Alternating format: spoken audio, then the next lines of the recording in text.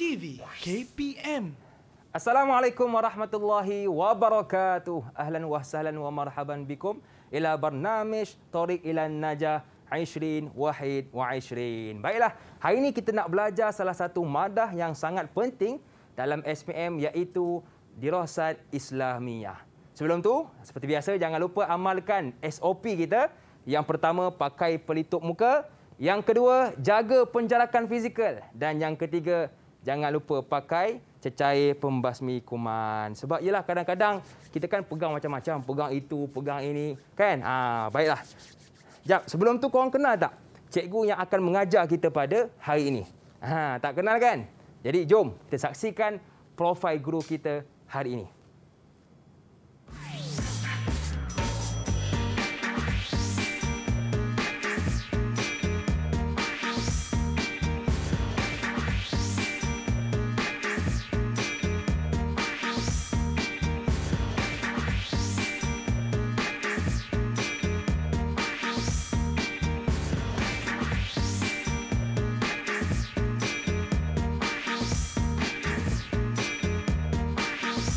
Okey, ha, cuba tengok cikgu kita ni handsome ke tidak kan? Ha, itu dalam gambar, depan mata lagi handsome. Jadi jom kita jemput guru kita. Ha, apa khabar cikgu? Alhamdulillah sihat. Alhamdulillah. Cikgu datang dari mana cikgu? Saya datang daripada Besut Terengganu. Oh, Besut. Besut Terengganu. Oh. Bergerak daripada daripada Besut? Daripada semalam. Semalam ya. Alhamdulillah. Alhamdulillah cikgu. Terima kasih kerana sudi bersama dengan kami di studio Sama-sama. untuk uh, subjek dirasat Islamiyah. Betul Ya. cikgu eh? Ya, ya. Jadi mungkin cikgu boleh ceritakan sedikit tentang subjek kita ni sebab yalah ada orang mungkin tak tahu lagi berkenaan dengan subjek kita. Silakan. Uh, terima kasih kepada uh, Luqman. Ya. Uh, dirasat uh, Islamiah, uh, turas ataupun turas dirasat Islamiah, ringkasannya TDI adalah satu subjek yang penting sekarang ini dalam SPM dan ianya banyak uh, di dalamnya ada Ah, banyak komponen. Baik. Baik cikgu, sebelum tu ah terlupa pula untuk kita amalkan SOP dahulu Ya, cikgu. ya, boleh. Okey, yang pertamanya jangan lupa untuk kita pakai uh, cecair pembasmi kuman. Ya. Silakan cikgu. Saya pakai dahulu. Okey. Okey, kemudian cikgu dan kemudian barulah kita boleh uh, cabutkan kita punya pelitup muka. Pelitup muka. Cuma ya jangan buang merata-rata cikgu eh. Ya. kita simpan di tempat yang selamat seperti poket kita pun bolehlah supaya tidak orang kata menjadi uh, sampah di tempat lain. Baik cikgu. Jadi teruskan tentang uh, subjek kita. Uh, di dalam turas dirasat Islamiah ni Ya. untuk makluman Luqman dia ada empat komponen yang utama. Yang pertamanya berkaitan tentang akidah, Mm-mm. yang keduanya berkaitan tentang um, akhlak, Ya. yang ketiga fiqh dan yang Okey. keempat berkaitan dengan sirah. Sirah. Uh, so Baik. keempat-empat ini akan ditanya dalam soalan SPM nanti insya-Allah. Hmm. Uh, Satu subjek bahagi pada empat tadi. ada empat komponen. Baik. Uh, Cuma ya pa, pada hari ini kita nak fokus kepada mana cikgu? pada hari ini kita akan fokus kepada bidang yang keempat iaitu bidang uh, akhlak. Hmm, Akhlak. Ah, ya. Okey, baik cikgu. Jadi sebelum tu kita nak kenal dahulu cikgu Ya. dengan murid-murid kita. Silakan, silakan. Boleh eh? Ya. Ah, Jadi jom kita kenali siapakah murid-murid kita.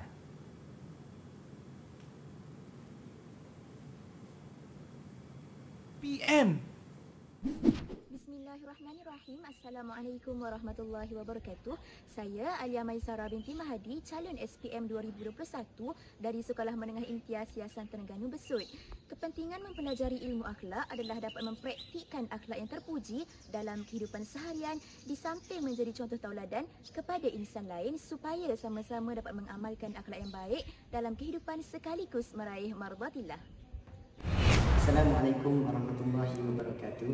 Nama saya Mukid Syamil Aiman bin Mazdi Amram, calon SPM 2021, Sekolah Menengah Imtiaz Yayasan Terengganu Besut. Ilmu akhlak penting terutamanya pada zaman sekarang yang penuh dengan cabaran dalam menghadapi gejala sosial. Selain itu, ianya perlu bergerak seiring dengan ketinggian ilmu dan intelektual seseorang.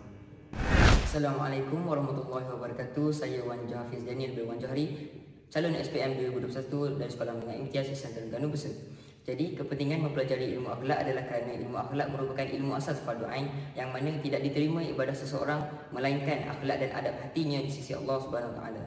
Seterusnya mendapat ganjaran pahala dan redha daripada Allah Subhanahu Wa Taala insya-Allah. Didik TV KPM Didik TV KPM Didik TV KPM Okey, marhaba ila bernamij Story ila Najah Aishrin Wahid wa Aishrin. Okey, ha, jangan lupa sekali lagi untuk kita amalkan SOP. Yang pertama, jaga penjarakan fizikal. Yang kedua, jangan lupa pakai pelitup muka. Dan yang ketiga, jaga juga, pakai juga cecair hand sanitizer. Baik, jadi uh, kita hari ini, kita nak tahu juga siapakah murid pilihan pada hari ini. Jadi jom sama-sama kita tengok siapakah yang terpilih pada hari ini.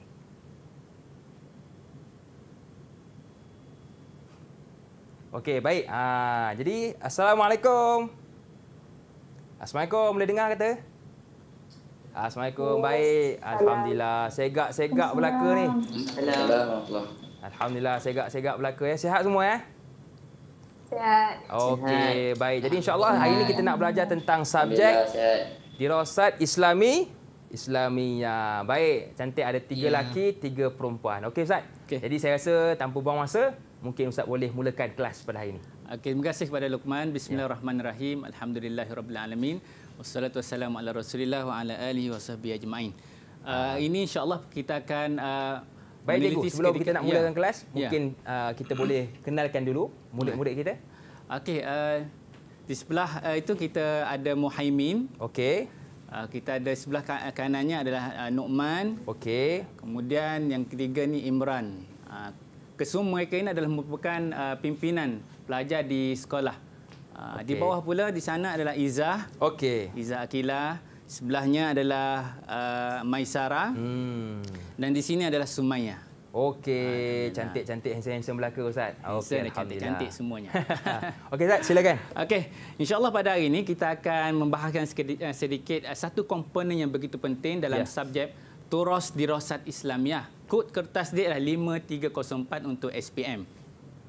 Baik, um, bila kita bercakap tentang pembelajaran turas ya Man, Okey. sebenarnya pelajar di sekolah kita didedahkan dengan pengajian kitab turas yang telah pun diwarisi oleh ulama-ulama yang terdahulu. Hmm. Kita hadapkan kepada mereka teks-teks kitab yang terdahulu untuk mereka hadam dan mereka praktikkan dalam kehidupan Ya. seharian mereka. Dan tentunya matlamatnya untuk melahirkan murid yang berilmu, Hmm. beriman, bertakwa, berakhlak mulia dan akhirnya menyumbangkan ke arah meningkatkan ketamadunan mangsa dan kesejahteraan rakyat demi untuk dunia dan akhirat. Ha, Ya, bahagia betul. dunia dan akhirat. Betul.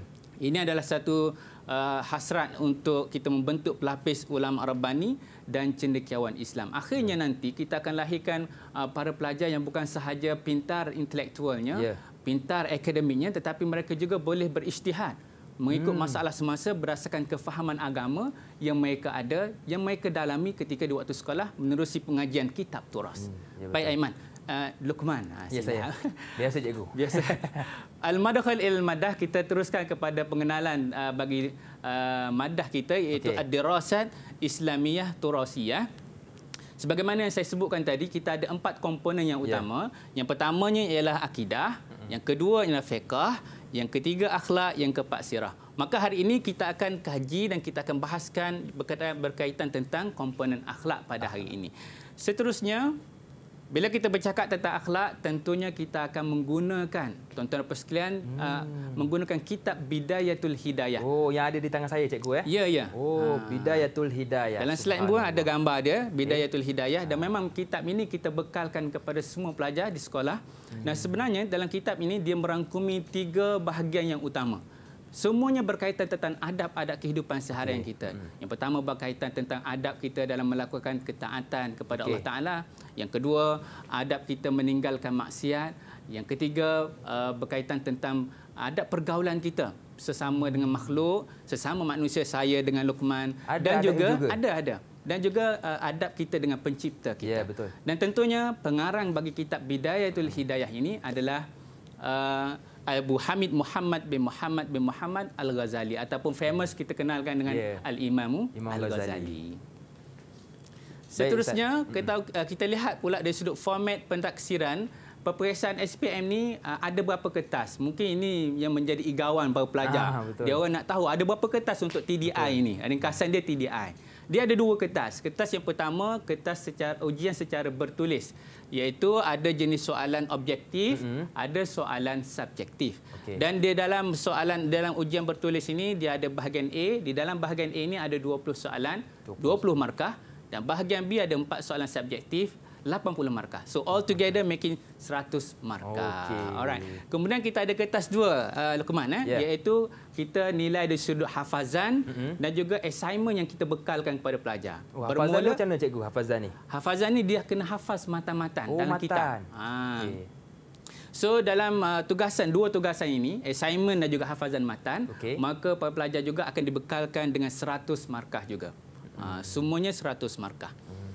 Kalau di dalam uh, ujian bertulis kita nilai dari sudut ingatan pelajar, kefahaman pelajar dan juga kita nilai dari sudut bagaimana pelajar mengaplikasikan. Dalam soalan nanti ada soalan-soalan yang kita minta diaplikasikan terhadap apa yang dia belajar. Nah, dan seterusnya kalau kertas dua kita lebih nilai dari sudut hafazan dan juga nilai-nilai murni yang ada dalam kitab tadi. Okey. Alright. Ni secara ringkaslah kan. Okey, baik. Kita pergi secara ringkas pengenalan kitab Bidayatul Hidayah. Yalah. Kitab Bidayatul Hidayah ini dikarang oleh Al-Alim Al-Allamah Hujjatul Islam Al-Imam Al-Ghazali rahimahullahu taala. Uh, kitab ini begitu famous hmm. dalam kalangan ulama tasawuf Betul. kerana banyak membincangkan bagaimana kita membina adab dalam diri kita. Ya betul. Dan untuk pengetahuan kita, kita ada uh, tiga bahagian utama dalam kitab ini. Bahagian yang pertama iaitu bahagian ketaatan. Berkaitan tentang bagaimana adab kita melakukan amal ibadat seharian. Hmm. Antaranya adab solat, Okey. adab bangun tidur dan sebagainya. Bahagian yang kedua, kaedah meninggalkan maksiat secara zahir dan batin. Dan adab dan bahagian yang ketiga ialah adab pergaulan Yes. sesama makhluk Oh. dan juga sesama dengan pencipta. Okey Indahnya. Islam ya. Okey. Semua ada adabnya. Semua adabnya. Ya. Alright. Seterusnya. Kita Baik. tadi kita kenal tentang uh, kita masuk sekejap tentang Penulis. kitab. Sekarang kita masuk pula secara secara ringkas biografi Imam Al-Ghazali. Ya. Baik. Nama yang diberi ialah Muhammad bin Muhammad bin Muhammad Abu Hamid Al-Ghazali At-Tusi. Hmm. Baik. Gelaran yang diberikan kepada Imam Ghazali ini adalah Abu Hamid. Ya. Ha, dan At-Tusi ini At-Tusi ini adalah nisbah kepada penempatan di sebuah komuniti di Iran pada waktu ketika Oh. dahulu. At-Tusi. Okey. Kalau Ustaz duk besut, al-besut lah. Al-Besuti. Al-Besuti. Al-Besuti. Ah, gitu.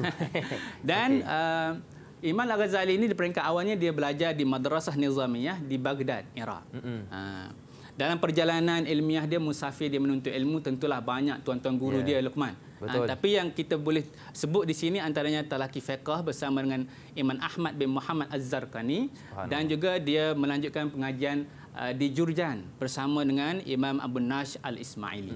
Ada juga uh, Imam uh, Al-Haramain menjadi tuan guru Imam Al-Ghazali. Karya-karya terkemuka Al-Imam Al-Ghazali antaranya ialah Al-Wajiz. Ya. Al-Wajiz ni berkaitan tentang fiqh dan usul fiqh. Kemudian Ihya Ulumuddin. Ya. Ini kitab-kitab semua ini kitab yang famous dalam kalangan popular, kita. Ustaz. Popular. Minhajul Abidin. Ya, betul. Dan kitab yang kita akan bahaskan pada hari ini kitab Bidayatul Hidayah. Hidayah. Ha, ketiga-tiga ni Ihya Ulumuddin, Minhajul Abidin dan Bidayatul Hidayah ini semuanya berkaitan tentang akhlak, adab dan juga tasawuf. Ya. Baik. Uh, Imam Al-Ghazali digelar sebagai Hujjatul Islam kerana kepetahan beliau dalam mempertahankan dan menunjukkan Islam itu dikagumi oleh orang ramai sehingga digelar sebagai Hujjatul Islam. Okey, Baik. seterusnya. Ia pun kena ingat Ustaz ya. Ya. Ah, barangkali dia tanya dalam- peperiksaan. Ah, kalau kata tak kenal maka tak cinta. Ya, betul. Ya. Okey, sebelum kita masuk kepada pengajian kita, kita tengok dulu sukatan, silibus uh, berdasarkan tingkatan 4 dan juga tingkatan 5. Ya. Kalau di tingkatan 4, kita akan fokus kepada bahagian yang pertama iaitu adab melaksanakan ketaatan. Mm-hmm. Adab melaksanakan ketaatan antaranya kalau Luqman boleh tengok di hadapan kita ini Ya. ada adab bangun tidur, adab masuk tandas, adab berwuduk, mandi, tayamum, banyak sangat. Ini antaranya. Ya, betul. Antara yang kita boleh masukkan dalam slide inilah, kan? Tapi saya rasa kalau bangun tidur ni Ya. kadang-kadang ada orang tak buat adabnya. Nanti kejap lagi kita tengok. Okey, Ah, Ustaz. Kejap lagi kita Ah, tengok. baik. Baik. Bahagian yang kedua uh, untuk tingkatan lima. Ya. Uh, antaranya kita masuk uh, cara meninggalkan maksiat. Ada dua fasal, fasal maksiat zahir dan juga secara batin. Mm-hmm. Maksiat zahir ni antaranya bagaimana kita menjaga mata kita, Ya.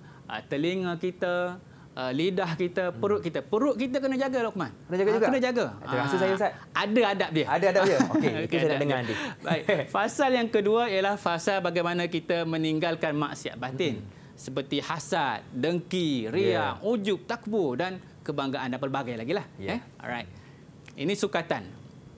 Tetapi Luqman, kenapa kita perlu belajar adab? Hmm, betul tu. Sebab hari, hari ni ramai orang dia lupakan adab. Hari ini ramai orang yang nampaknya hakis dia punya adab dalam diri dia. Allah. Betul, betul. Al-Imam Malik menyebut kepada salah seorang pemuda Quraisy, Ya. kalau kamu nak belajar ilmu, belajarlah terlebih dahulu adab. Kerana hmm. apabila kita menghiasi diri kita dengan adab, Ya. kita mencantikkan diri kita dengan adab, mm maka ilmu itu Luqman yang sifatnya cahaya, Okey. mudah untuk masuk dalam jiwa kita. Oh, patutlah kadang-kadang kita rasa susah nak hafal. Ya. Barangkali mungkin sebab adab Ustaz. eh? Adab itu nombor satu. Betul. Imam Ib- Ibn Mubarak menyebut kepada pelajar-pelajar dia, dia belajar ilmu tiga, dia belajar adab 30 tahun. Adab saja. Sa- Adab saja 30 tahun. Berbanding dia belajar ilmu 20 tahun. Ini membuktikan bahawa adab itu begitu penting. Kerana ulama menyebutkan bahawa adab ini sumber kepada keberkatan. Kita belajar ilmu, kita nak bekerja, semuanya nak keberkatan. Ya, betul. semuanya nak kepada penambahan kebaikan. Maka penting eh Luqman, adab itu penting. Jadi uh, Ustaz, adakah saya su- sudah cukup beradab di depan Ustaz? Sudah, Sudah, ya? Alhamdulillah. 100%. 100%. Okey. Okey, teruskan, Ustaz.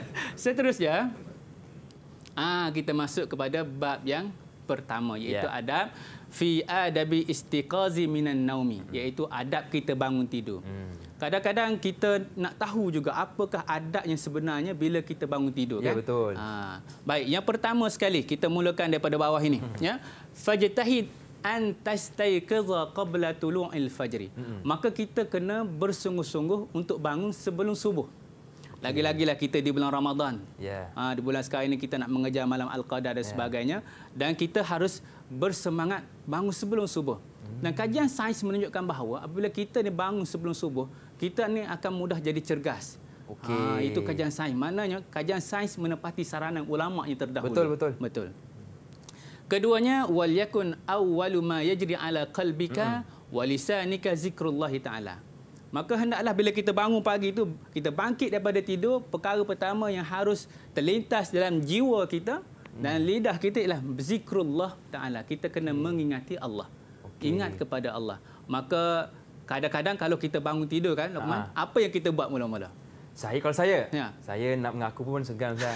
Handset lah Ustaz. Ha, Tu bercahaya kebanyakannya muka kan, kebanyakan bila orang bangun, benda yang pertama dia capai mesti handset Ah, dia. betul, Ustaz. Kan? Public phone dia. Betul. Nah, maknanya dia nak tengok apa WhatsApp yang tak baca lagi, Ah. apa maklumat yang dia tak baca lagi kan. Hmm. Sebenarnya ulama mengajar kita bangun daripada tidur, bangkit tu kita berzikir kepada Allah Taala. Zikir tak kisah Ustaz. Subhanallah boleh? Tak kisah, Tak kisah. apa je zikrullah yang boleh mengingatkan kita Baik. pada Allah Subhanahu Wa Taala. Kemudian kalau kita nak tengah di tengah di tengah ini antaranya adalah doa. Ha-ha. Doa yang disarankan oleh ulama alhamdulillahillazi ahyana ba'dama amatana wa ilaihin nusyur. Segala puji bagi Allah Taala yang telah pun uh, menghidupkan kita setelah Betul. mematikan kita. Rupanya mati uh, tidur ini adalah saudara kepada mati. Ulama menyebutkan bahawa an-naum akhul maut. Tidur ini saudara kepada mati. Sebab itu bila kita dibangkitkan kembali ke dunia ini, hmm. maka kita kena bersyukur kepada Allah Taala, maka baca doa.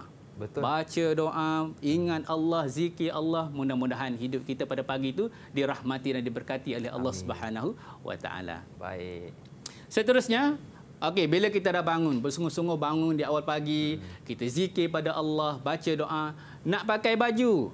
Ulama juga menulis bahawa faiza labista siyabaka fanwi bihi imtisali amrillah fi sitri auratika. Okey. Ha, bila kita bangun pagi, kita nak pakai baju, maka kita kena niat untuk mengikuti suruhan Allah, iaitu pakai pakaian yang menutup aurat Oh, kita. Kena mulakan dengan niat. Ya. Okey, baik Ustaz. Kita pun uh, nak berehat seketika. Boleh ke Ustaz? Silakan. Okey, kita berehat seketika. Kita kembali selepas ini. Didik TV KPM Didik TV KPM Okey, marhaba ila barnamij Tariq ila Najah SPM 20 Wahid wa 20. Okey. Okey semua murid kita masih lagi steady? Boleh eh? Oh, senyum tu okey lah tu. Okey Zat, mungkin boleh sambung sedikit lagi. Okey, terima kasih Luqman. Okey, tadi kita uh, membicarakan bila kita bangun tidur, kita nak pakai pakaian, maka tentunya kita kena niat untuk mengikuti suruhan Allah Subhanahu Wa. Taala untuk menutup aurat. Kenapa kita perlu tutup aurat? Uh, mungkin kita boleh tanya pada pelajar kita ni. Betul. Tanya yang perempuan lah, Ustaz. Okey. Ah, okey. Imran, Imran. Ah, Imran, okey. Kenapa kita perlu tu- tutup aurat uh, dalam kehidupan seharian kita? Uh, untuk menjaga aib diri Ustaz. Okey, terbaik Imran. Sebenarnya adab untuk kita Ya. adab kita diajar untuk menutup aurat ini Ha. adalah untuk menjaga kehormatan diri kita. Pelajar-pelajar sekalian, aurat ini tidak boleh didedah melainkan ada keperluannya. Hmm. Perubatan dan sebagainya. Okey. Maka selain daripada itu, kita perlu pelihara aurat kita. Ha, mudah-mudahan hidup kita diberkati oleh Allah Subhanahu Wa. Taala. Seterusnya wahzar an yakuna qasduka min mura'atil khal. Bila kita pakai pakaian tuan-tuan, pelajar-pelajar sekalian, tentunya kita harus niat jangan cari perhatian manusia. Ah, jangan buat perkara-perkara amalan selain daripada niat untuk cari redha Allah Subhanahu Wa Taala. Buat tu kerana Allah, pakai pakaian kerana Allah.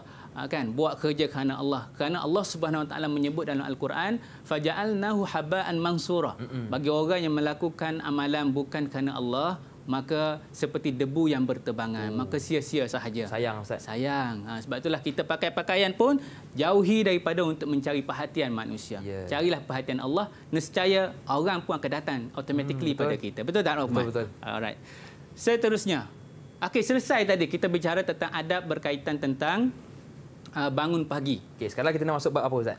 bila kita bangun pagi uh, biasa Lokman buat apa bangun pagi ke mana Bangun pagi, bangun pagi kita biasalah Ustaz, kan? Ya. Pergi ke tandas lah. Ah, kan? bagus. Bijak Ah. Lukman. Okey, seterusnya bila kita bangun pagi, kita akan ke tandas. Maka Yeah. bab yang seterusnya ialah bab adab dukhul al-khala. Hmm. Bab pada adab kita masuk ke tandas.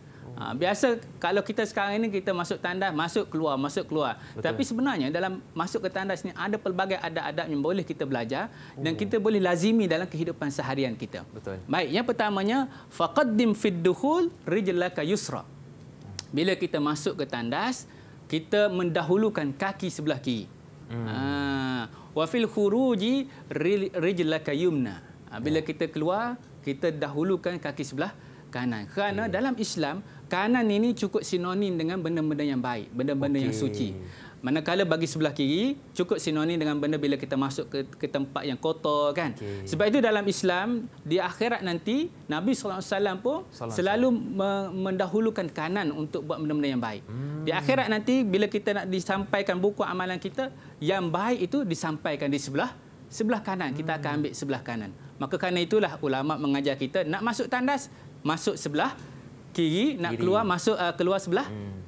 Tapi ramai kita tertukar Ustaz eh. Ya. Masuk kanan, keluar kiri. Kadang dia ikut dan je. Sebab terbiasa, Ha, Ustaz. Kadang-kadang dua-dua belah masuk. Aduh, dah masuk. Itu lagi Ini, hebat. ini, itu dahsyat, itu dahsyat. Okey. Itu yang tak patutlah. Maknanya masuk sebelah kiri, keluar sebelah Ya. keluar sebelah kanan. Ha. Baik. Okey. Bila dah masuk, tentunya kita kena baca Doa. doa baca doa. Okey, dalam kitab disebut doanya bismillahi a'udzubillahi minar rijisin najisi al-khabisi mukhbisi asyaitani ar-rajim. Tetapi ada banyak lagi doa-doa yang biasanya kita baca di dalam kehidupan seharian kita. Mungkin kita boleh minta ke Boleh, apa okey. ni pelajar-pelajar kita Muhaimin. Ha. Uh, apa doa yang biasa Muhaimin baca bila Muhaimin uh, masuk ke tandas? Mungkin boleh kongsikan. Kongsikan Muhaimin, silakan. InsyaAllah. Uh, doanya Allahumma inni a'udzubika minal khamsi wal qaba'is Mm-mm. yang bermaksud uh, ya Allah jauhilah aku daripada uh, gangguan syaitan jantan dan syaitan betina. Okey, terima kasih Muhaimin. Uh, banyaklah doa kalau kita Pendek nak je doa ya Ustaz eh. pendek dan banyak doa yang boleh kita amalkan dalam kehidupan seharian kita. Baik, kalau tadi kita masuk, kita ada doa, masa kita keluar pun ada juga doanya iaitu ghufranaka alhamdulillahillazi azhaba anni ma yu'zini wa abqa alayya ma yanfa'uni. Oh, dia panjang sikit eh. Panjang sikit. ha, aku berlindung kepadamu ya Allah, mohon keampunan dan segala puji bagi Allah Subhanahu Taala azhaba anni ma yu'zini yang telah memperedarkan benda keburukan yang boleh menyakiti diriku. Wa abqa alayya ma yanfa'uni dan mengekalkan benda yang manfaat yang baik dalam diriku. Uh, adab yang seterusnya ialah wala tastashib syai'an alaihi ismullahi wa rasulih. Masuk dalam tandas ni tak boleh kita bawa benda-benda yang ada tulisan nama Allah dan rasulnya. Okey. Kerana kita diajar untuk menghormati perkara-perkara yang suci. Hmm. Allah, Nabi Muhammad sallallahu alaihi wasallam benda yang perlu kita hormati. Ya, betul. Maka Islam melarang kita buat kerja macam ni, bawa benda dalam dalam tempat yang kotor. Tak seperti Ya. yang tandas kan? Mm-mm. Dan seterusnya ialah wala tadkhul hasirar ra'si wala hafiyal qadamain. Masuk dalam tandas jangan masuk dengan dalam keadaan kepala kita terbuka. ulama ajar kepada kita masuk dalam tandas ni paling-paling tidak pun kalau ada baju ambil baju letak atas Itu kepala kita. kurang. Ha, ataupun ada towel letak towel atas kepala kita Hmm. kan. Atau paling-paling tidak pun ambil tangan letak atas kepala kita. Okey. Untuk kita tutup kepala kita sebab ada riwayat menyebutkan bahawa apa ni syaitan jin dia apa ni mengambil najis dan meletakkan di atas kepala kita. Maka kita nak berlindung daripada perkara-perkara yang tidak baik. Okey. Maka sebegitu. Dan wala hafiyal qadamain. Jangan pula kita masuk dalam keadaan berkaki ayam. Tak ada selipar. Ha, tak pakai apa ni selipar lah dalam tandas. Kenapa kita perlu pakai selipar Luqman bila dalam tandas ni? Hmm. Sebenarnya Okey. kita nak menjaga terutama dari sudut kebersihan. Ya. Kita tak nak nanti kita terpijak benda yang tak sepatutnya kan. Terpijak emas sebagai contoh di dalam tandas kan. Ya. Emas kan. Ya, betul. Ah, terbawa keluar dalam bilik sudah jadi bilik tu kotor. Ya, betul. Kemudian untuk keselamatan takut nanti bila kita masuk dalam tandas tandas licin, air banyak, takut nanti kita tersadung. Ya, Ah, betul. so adab yang kita belajar pada hari ini untuk bukan setakat untuk memperelokkan diri kita tetapi untuk menjaga kebersihan, Ya. keselamatan. Maka Islam ini cukup indah. Betul. Dia jaga diri kita untuk nampak elok bahkan untuk menjaga keselamatan dan kebersihan dalam Okey, baik. Ustaz, kita pun dah apa uh, cerita panjang lebar. Jadi setakat ni uh, untuk pelajar-pelajar kita. Ya. Okey, hal indakum as-soal. Ada tak apa-apa soalan nak diajukan kepada ustaz ataupun ustaz nak tanya kepada anak murid kita ustaz Ah. tentang yang telah dibicarakan tadi. Ah, okey. Okey, Nukman. Kalau ada angkat tangan. Ah, Saya Nukman. ustaz, kan? Nukman ada? Okey, silakan Nukman. Ah. Ada Ustaz. Okey. Okey. Tafadhal. Nukman, apa apa maksud uh, apa ni doa yang Ustaz bacakan tadi? Wa qul indad dukhul bismillahi a'udzubillahi minar rijsin najisi Hmm. al khabisil mukhbisi asyaitanir rajim. Mungkin uh, Nukman boleh kongsikan. Uh, dengan nama Allah, Hmm. aku berlindung daripada najis dan syaitan jantan dan betina. Okey, terima Okey. kasih pada Nukman. Okey, bagus. Subhanallah. Boleh kita teruskan? Boleh, silakan ustaz. Okey. Antara adat-adatnya lagi ialah wa antastabra'a minal bauli bitanahnu. Bila kita qada hajat, kita kencing, adabnya ialah kita beristibra. Hmm. Uh, beristibra dengan bertanahnu iaitu berdaham. Tanahnu ini berdaham.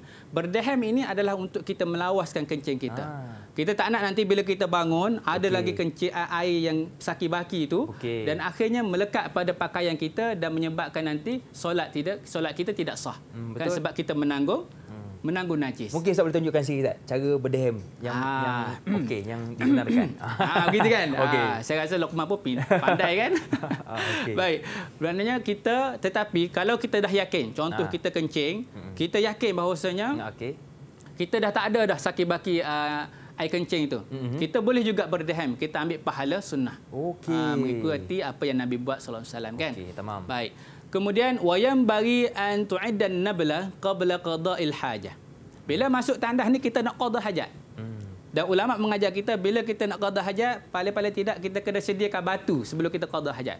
Penulisan ini uh, sejak beratus-ratus tahun pada dahulu, dah, ratus tahun dahulu lah. Ya, betul. Kan? Makna pada zaman dahulu mungkin mereka terhad penggunaan air. Uh, so mereka cadangkan bila nak qada hajat sediakan batu. Ya. Sebab batu antara alat bersuci.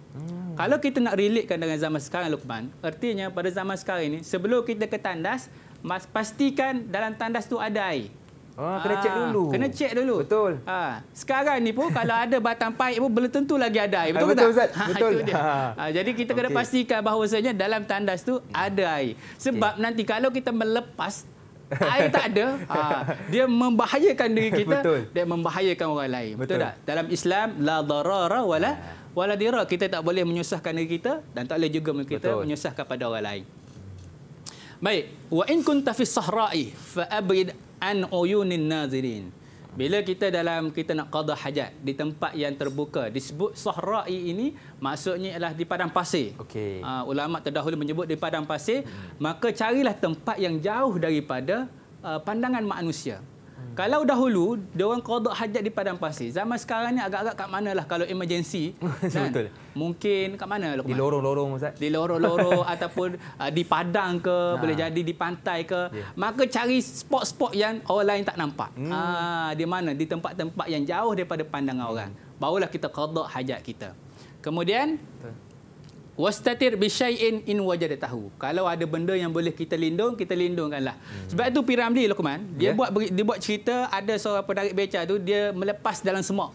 Hmm. Uh, maknanya dia mengelakkan daripada pandangan orang. Ya, betul. Dia melindungkan diri dia dalam dalam keadaan semak supaya orang tak perasan. Sebab tu bila orang tak perasan, Piramli pergi curi dia punya Betul. beca. Okey. Baik, ini adalah kerana, kerana apa? Kerana apa bila kita uh, diajar supaya jauh daripada pandangan manusia Okey. Untuk kita lindung diri kita daripada Ha. benda-benda yang tak uh, benda-benda yang kita boleh lindung adalah tujuan untuk menjaga kehormatan diri kita. Betul. Supaya kita tidak mengaibkan diri kita. Pelik pula nanti kan kalau kita melepas di, di, dari di tempat-tempat yang orang mudah nampak ha, kan mengaibkan diri kita tidak molek. Betul. Ha, okey. Seterusnya.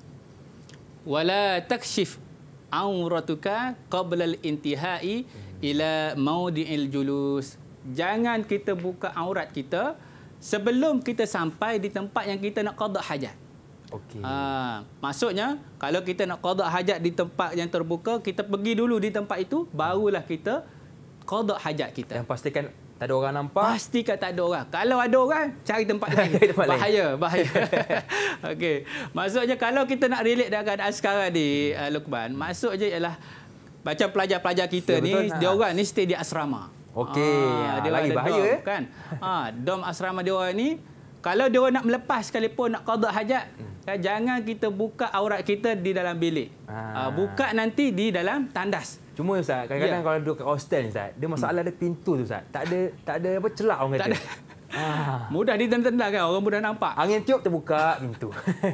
Okay. Maksudnya ialah kita kena pelihara aurat kita. Yeah. Sebelum kita nak pergi, sebelum kita nak qada hajat, pastikan dalam perjalanan itu kita menutup aurat dan sampai dalam tandas barulah kita buka aurat kita.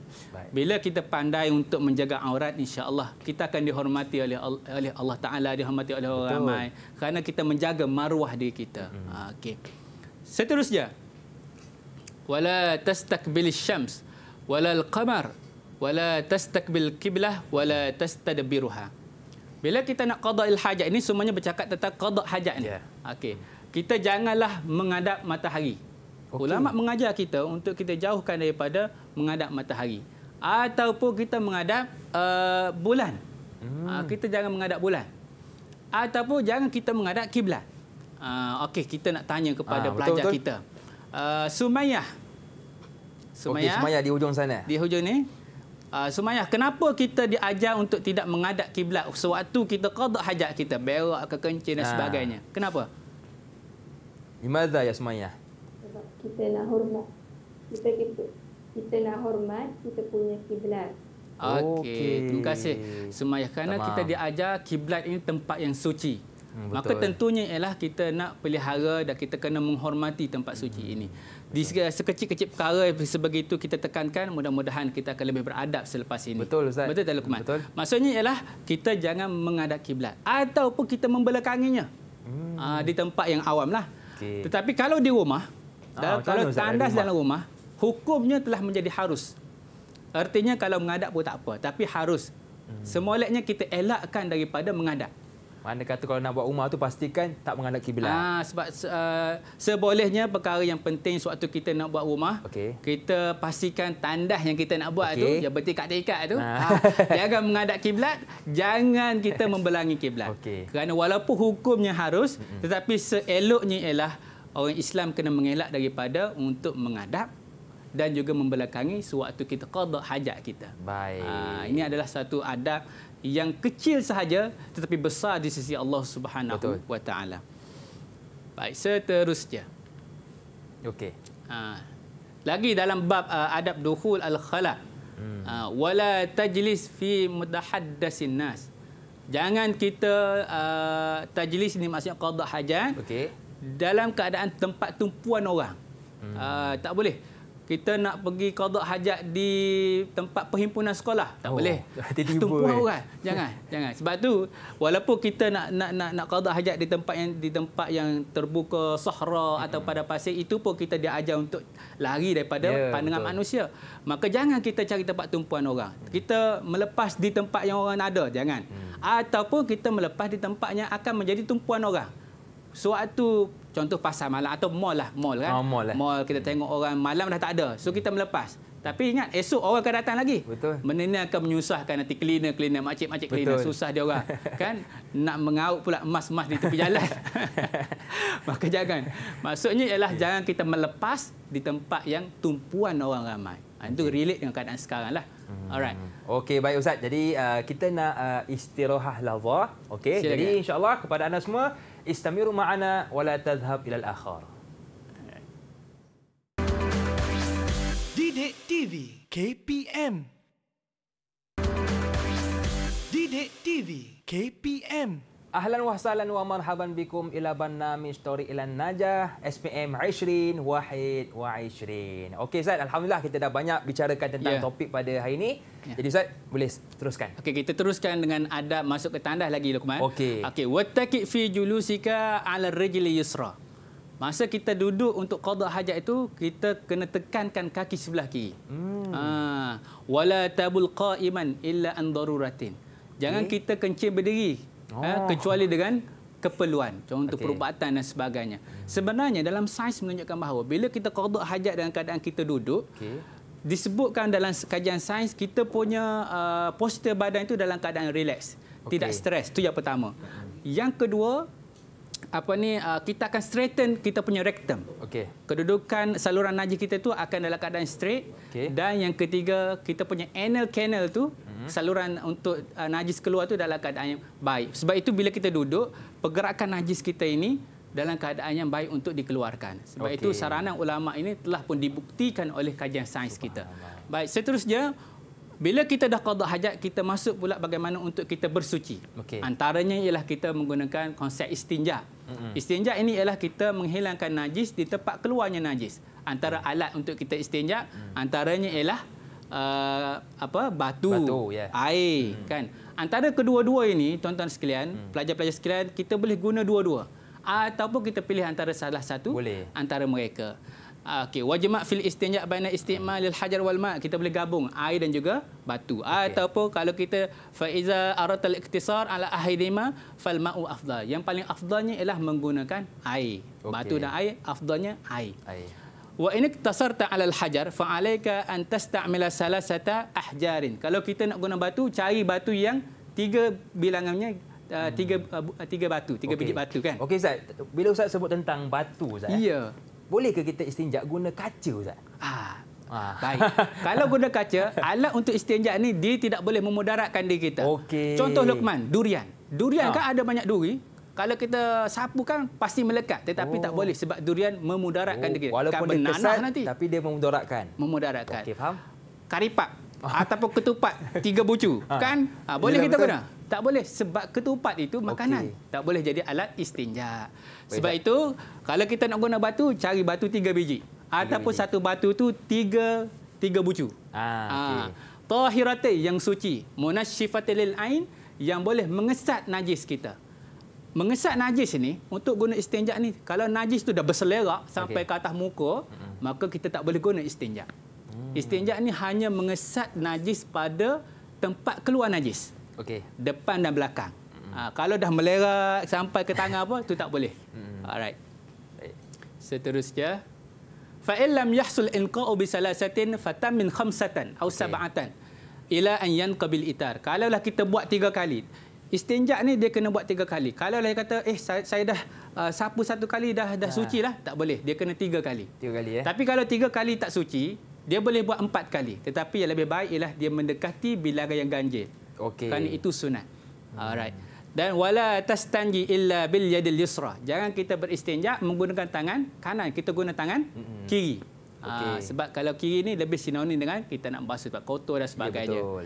dan last sekali Luqman Okey. the last but not the least Okey. kita baca doa. Okey. Allah mutahhir qalbi minan nifaq wa hassin farji minal fawahish. Okey. Ya Allah, sucikan hatiku daripada uh, nifaq dan cantikkan kemaluanku daripada kejahatan yakni zina. Okey, Alright. baik. Jadi yang mungkin uh, murid kita Ustaz eh nanti kalau contohlah, contoh tiba-tiba dekat sekolah kan. Ya. Uh, tak ada orang kata air, Ya. boleh gunakan batu Ustaz eh? Boleh, Ah, boleh tapi guna batu. itu dululah. Sekarang dalam Ah. tandas pun dah ada tisu. Ah, tisu senang. Ah, boleh guna tisu. Betul. Ah, tisu kalau ada satu tisu, kerat tiga. Yelah. Potong tiga ataupun ambil tiga tisu. Kan habis pula batu kat sekolah Ustaz eh. Dirembak budak-budak. Jangan ni. batu kat sekolah besar-besar lepas. Oh, besar, ya? Nanya nanti. Okey. Okey, baik. Okey, kita teruskan soalan dengan boleh. para pelajar kita. Okey. Okey, Ustaz nak tanya soalan ni. Okey. Ah, semua ready? Ha. Hal Alhamdulillah. antum tasta'idun? Ya jamaah? Okey. Ah, semua ni muka nampak ready ni. Ah, Daripada betul. semalam ni dah ready, Baik. ni. Ya soalan pertama. Okey, kita minta uh, uskur isnaini adab al-istiqazi minan naumi. Okey, ah. siapa boleh? Baru kita bincang tadi. Ah, baru kita bincang Ayah. tadi. Okey, Izah silakan Izah. Okey. Tafadhal Izah. Is, isnain adab al-istiqazi minan naum. Awalan qiraati du'a, yeah. wa thaniyan awalan wa thaniyan awalama awwala ma yajri. Ah. Awwala ma yajri ala qalbika wa lisanika. Okay. zikrullah. okay. So, ah, okay bagus. Ustaz. Bagus. Tepat okay. sekali. Good job. Ah, Cantik. Ah, maksudnya adab kita bangun tidur. Yang pertama, hmm. uh, doa kepada doa. Allah Ta'ala. Yang kedua, yang melintas dari kepala kita, tentunya zikir kepada zikir Allah Ta'ala. Allah soalan Allah. kedua. Okey, soalan kedua. Man niyatu allati hasu alaiha al-imam al-ghazali inda lubsi siap Okey, siapa boleh tolong bantu? Okey, Man. Siapa nak nak, nak siapa jawab? Siapa nak tolong jawab? Okey, Imran. Okay. Okay. Tafadhal. Okay. Silakan uh, Imran. Yeah. The handsome guy. Aniyah allati hasu alaiha al-Imam Al-Ghazali inda lubus thiyab liimtisal awamirillah fi sitril awrah inda lubus thiyab. Okey. Okey, tepat. Uh, maknanya apakah yang digesa oleh Imam Ghazali bila kita pakai baju? Tentunya kita mengikuti suruhan Allah dalam menutup aurat kita. Okey. Kita boleh pergi soalan satu lagi? Boleh, boleh. Silakan, Ustaz. Seterusnya, yang ketiga. Uzkur hikmah nahyi hafiyal qadamain fi dukhulil khala. Apakah Oh. hikmah dilarang untuk kita berkaki ayam dalam tandas? Makin susah soalan Ustaz eh. Susah soalan dia. Ini kalau boleh jawab ni 10 markah. Ah, Okey, 10 markah, silakan. Okey, siapa boleh jawab? Okey, siapa boleh? Saya Ustaz Okey, silakan. Saya Ustaz Okey, Sila. silakan. Ah, Maisarah. Hikmah nahyi hafil qadamaini fi duhul qada Mm-mm. awalan bi sihhatil badani min firusah wa thaniyan bi ibtiadi an najasah Ah, kita tepat Okey. sekali. Ah, hikmahnya untuk kita jauhi daripada kotoran dan untuk uh, kita memelihara keselamatan kita. Okey, Ah, baik. Boleh lagi Luqman? Boleh Ustaz, silakan. Kita ada teruskan. dua lagi soalan Ustaz eh. Dua lagi. Okey, Okey, boleh. Uskur habiskan. uh, salasah min adab dukhul al-khala. Okey, apakah sebutkan tiga adab masuk tandas? Ah. Okey, siapa yang boleh? Okey, siapa? Silakan. Siapa yang nak jawab? uh, uh, Okey, silakan Muhaimin. Ya Ustaz Okey, tafadhal Muhaimin.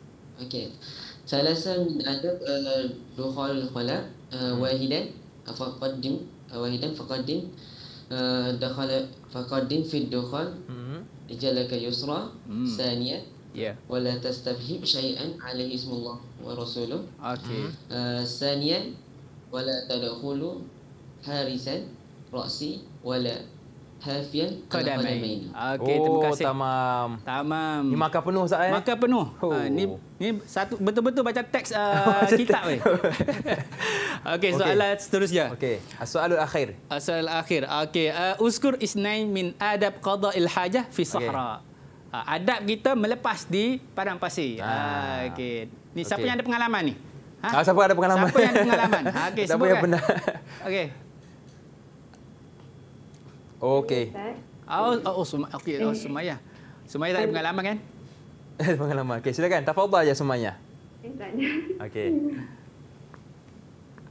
adab fadail hadad fi sahra awalan فأبعد عن عيون الناظرين Ya. ثانيا ولا تكشف عورتك قبل الانتهاء إلى موضوع الجلوس Okey. Oh, sah Ustaz ada pengalaman. Lancar jawapannya. Lancar dia betul kan? Tak apa.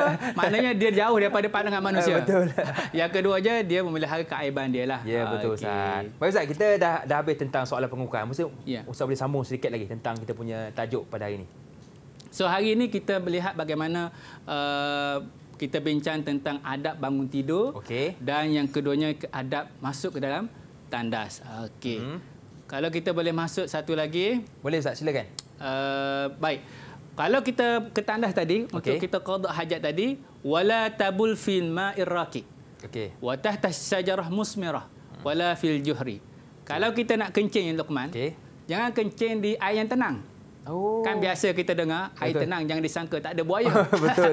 Tapi bukan kita nak kata dalam air tenang tu ada buaya, tidak. Okey. Tetapi dalam air yang tenang ini kalau kita melepas di situ, kita Okey. kecil di situ, air itu akan jadi air najis. Oh. Jadi orang lain nak guna tak boleh. Hmm. Tapi kalau kita nak kencing dalam air yang mengalir dibolehkan. Tidak ada Okey. masalah. Ha, Macam di sungai boleh lah. boleh boleh. Okey. Okey. Dan watah sajarah al-musmirah. Tamam. Kita nak qada hajat di tempat yang pohonnya rimbunan buah-buahan. Ha, boleh tak? Hmm. Macam mana Ustaz? Kita nak qada hajat di tempat pohon, Okey. pokok-pokok yang banyak buahnya. Macam mana Ustaz? Boleh ke tidak? Tak boleh. Tak boleh eh? Nanti oh. kesian. Pokok yang banyak buah nanti, orang nak datang ambil buah nanti kan. Hmm. Orang nak kutip-kutip buah. Kan tertukar. Ya betul. Masalah tuan. Dia rasa elok mak apa mak ni jadi masam. Ha, salah ambil. Oh, rupanya benda lain. Ha, tu jaga. Kita jaga uh, menyusahkan orang. Jangan kita susahkan diri kita dan menyusahkan orang kan. So, di tempat yang ada buah-buahan, tempat yang tun, menjadi tumpuan orang ramai, Zat. kita tak boleh qada hajat di situ. Wala fil juhri. Dan jangan kita qada hajat di tempat yang lubang. Kita, contoh kita kencing di, di lubang-lubang kan. Kita Okey. takut dalam tu ada Oh, tak boleh, ada binatang-binatang buas Okey, anaconda dan sebagainya contoh Oh, kan. anaconda. Ha, jadi tak uh, kita pula mudarat nanti kan. Ha, betul.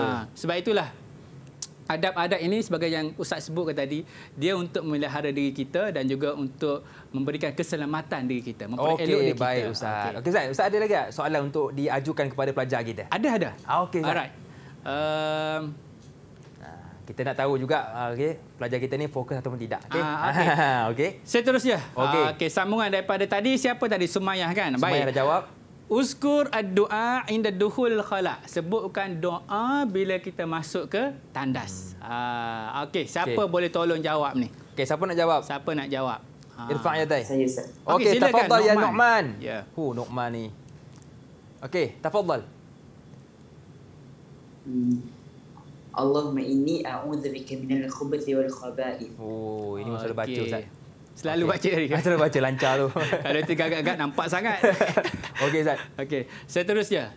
Soalan kedua. Soalan seterusnya uzkur ad-du'a indal faraghi minal istinja. Tadi kita dah Ah. sebut tadi. Bila dah selesai istinja, Okey. Okey, apakah doa yang kita boleh baca? Okey, siapa yang boleh tolong jawab ni? Ah. Saya Ustaz. Okey, Izzah, Okey. lagi sekali Izzah, Izzah. silakan.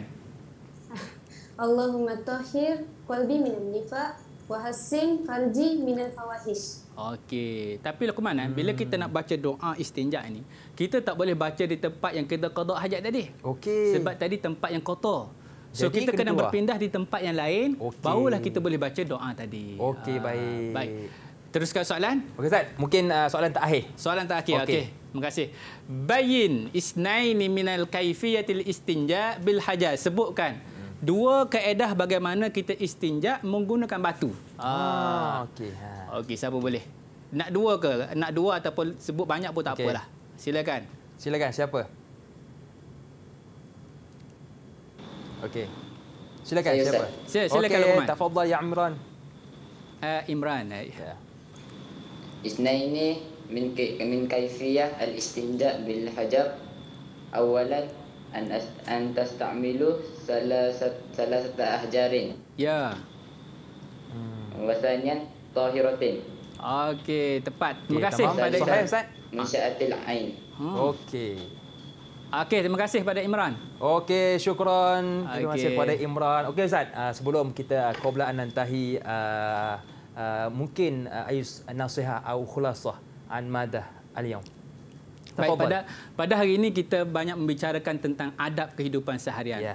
Kita lihat bagaimana anak muda sekarang ini adab uh, moral akhlaknya mungkin kita lihat ada yang terhakis. Ya, betul. Maka penting untuk kita salur dan kita pandu kembali mereka ini mengikut saranan ulama-ulama yang terdahulu. Okey. Dalam kitab yang kita belajar pada hari ini mm-hmm. banyak sekali adab-adab yang boleh membentuk diri kita untuk menjadikan anak muda sekarang ini menjadi pimpinan mm. apa ni pada masa hadap, hadapan Baik. bukan setakat pintar uh, pemikirannya tetapi orang yang boleh tolak ansur, hmm. toleransi, berkasih sayang dan menghormati orang Baik lain. Ustaz. Jadi apa pun kita, siapa pun kita ingat jaga adab, bina adab dalam keluarga kita dan dalam diri kita. Okey, jadi setakat ini saja pengajian untuk hari ini. Kita jumpa lagi pada akan datang. Assalamualaikum warahmatullahi wabarakatuh. Didik TV KPM Assalamualaikum warahmatullahi wabarakatuh. Saya Nur Hafiza Alina binti Ahmad, ibu kepada Wan Jo Hafiz Daniel bin Wan Johari, calon SPM 2021 Syahda Ulia mendoakan anak anda saya beserta rakan-rakan dipermudahkan menjawab SPM dan berjaya dengan cemerlang insya-Allah. Assalamualaikum. Assalamualaikum warahmatullahi taala wabarakatuh. Saya Mazdi Amram bin Mamat, ayah kepada Mukri Samir Eman, calon SPN 2021. Harapan agar anak saya Mukri Samir Eman dan rakan-rakan berjaya dengan cemerlang dalam peperiksaan SPN 2021 nanti. InsyaAllah. Amin. Ya Rabbal Alamin.